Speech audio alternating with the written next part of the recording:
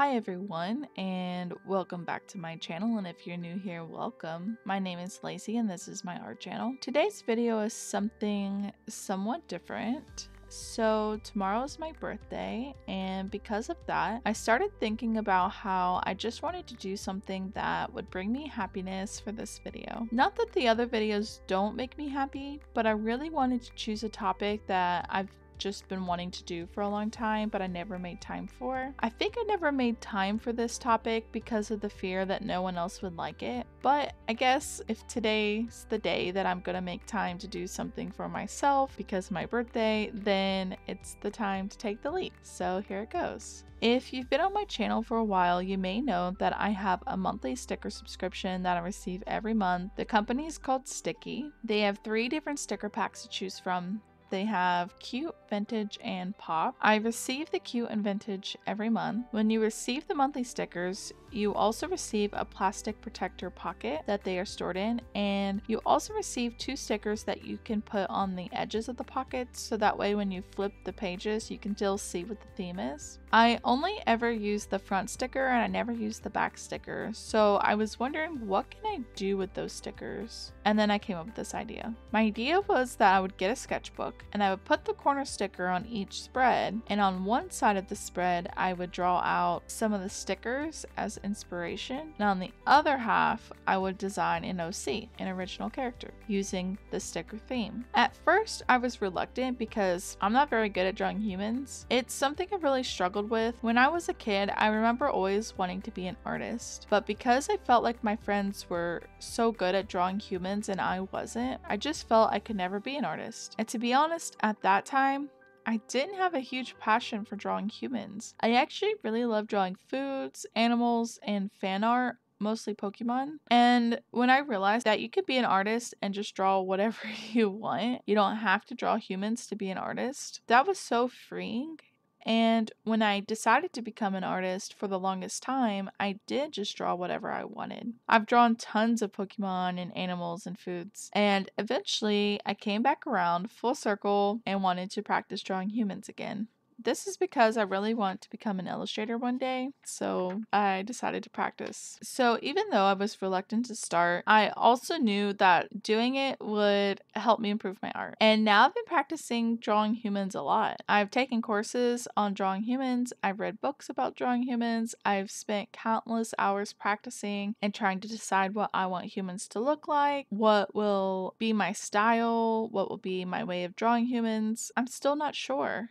My style is forever changing, but I feel like that's a sign of growth. I never went to school for drawing. I've taught myself how to draw, and I've also taken a lot of online courses, like I mentioned before, but I know it'll happen with time, so I'm not too worried. I just hope that I can create something that all of you will enjoy, and I hope that we can encourage each other to improve and to continue making art. So, for this sketchbook of OCs, I've actually created a few before I filmed this video. I'm going to show them to you. When I decided that I was going to make this video, I started coming up with stories for the OCs. I'm not going to tell all of their stories today. I'm actually going to just skip the first two for now just for like time's sake. But we're gonna go through the next two and then the one that I'm drawing in today's video. If you all like the video, then we can go back and talk about the others. I hope that all of you like this content. If you do, please share it with me in the comments below so I know and enjoy the story.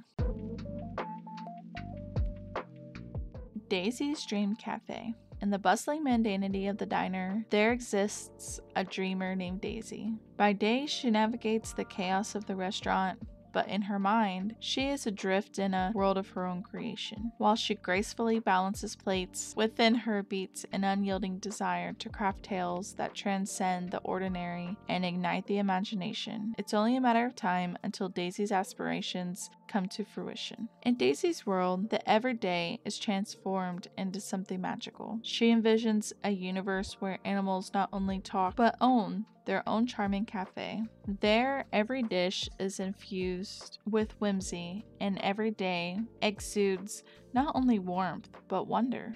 It's a place where every wish can come true, and Daisy longs to be a part of it. As she scribbles away in her precious moments of solitude, Daisy weaves tales of friendship, adventure, and culinary delights. In her stories, furry friends and feathered companions work side by side, serving up smiles and heartwarming moments to all who enter their whimsical establishment. But as Daisy's stories take shape, so too does her journey of self discovery. With each word penned and each dream nurtured, she finds herself drawn deeper into the enchanting world she's created, where even the smallest moments hold the promise of magic and fulfillment. Through Daisy's eyes, readers are transported to a realm where everything sparkles with a touch of magic, and the power of imagination knows no bounds. And as her tale unfolds, they discover that sometimes the most extraordinary adventures begin with a simple dream and a sprinkle of wonder.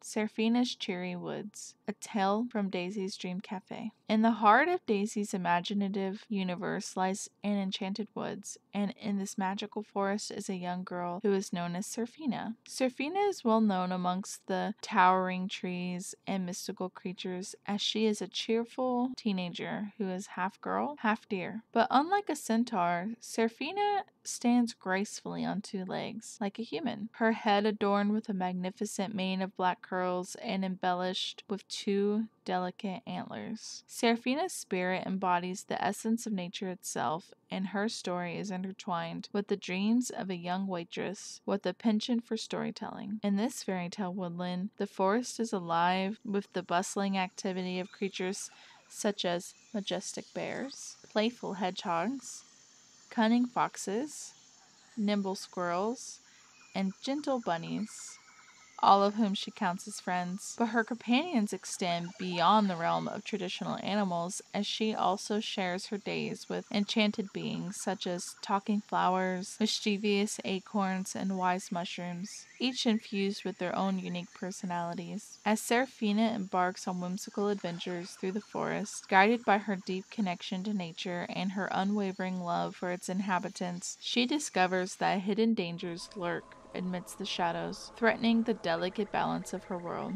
With bravery and determination, Seraphina must navigate through challenges, forging alliances, and uncovering her own inner strength along the way.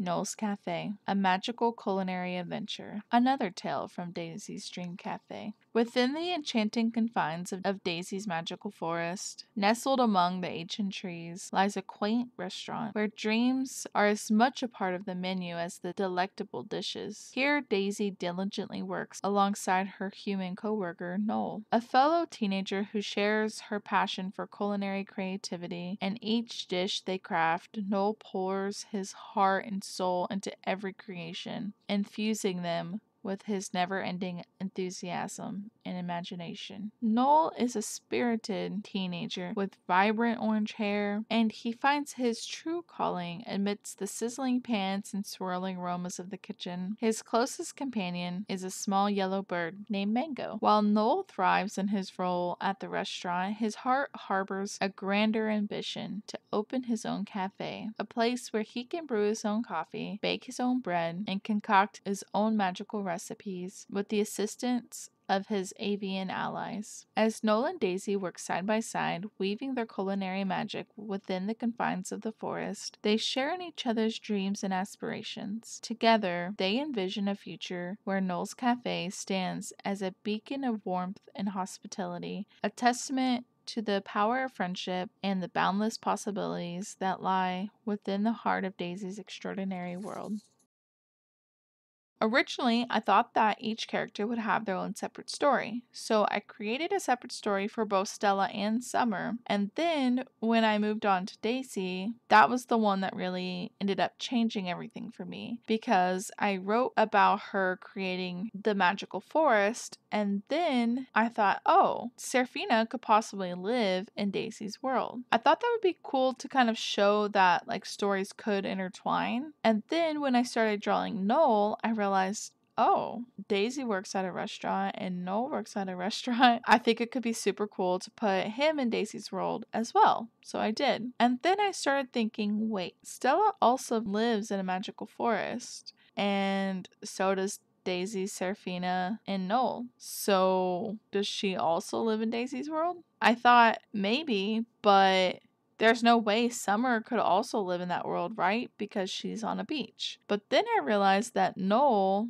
has orange hair and so does Summer. So what if Summer was Noel's sister? And that just kind of blew my mind. It really made me change the way that I was thinking about it. So maybe if you guys enjoy it, we'll go back and talk about Stella and Summer, but I'll just see, you know, how the video goes. I do want to say thank you to all of you who have made it through this video. I super appreciate it. If you want to chat in the comments, please feel free to reach out. I always love hearing from all of you. If you have made it this far, consider putting your favorite woodland animal emoji in the comments below so I know that you made it. And I look forward to seeing all of you in the next video. Goodbye now.